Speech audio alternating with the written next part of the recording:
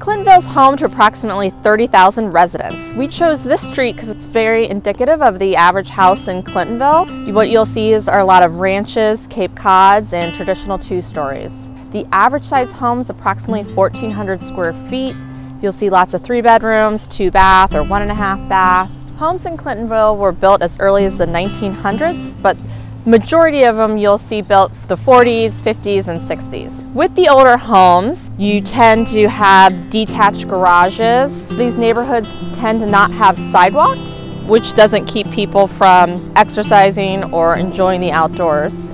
On the interior, there's little closet space. You'll have a traditional layout, so your kitchens might be closed off to the rest of the room. In the basement, lower ceilings.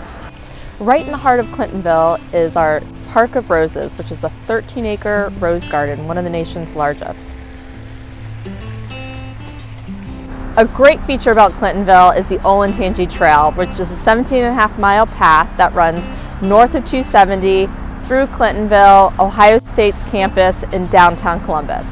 It's a unique street in Clintonville called Overbrook, which is right on the ravine. There's houses all throughout and it's a very popular uh, walking path. What makes Clintonville so attractive to many is the walkability to High Street with all the restaurants, gastropubs, coffee shops, bakeries, and just unique shops in general. If you're thinking about making a move, call us today.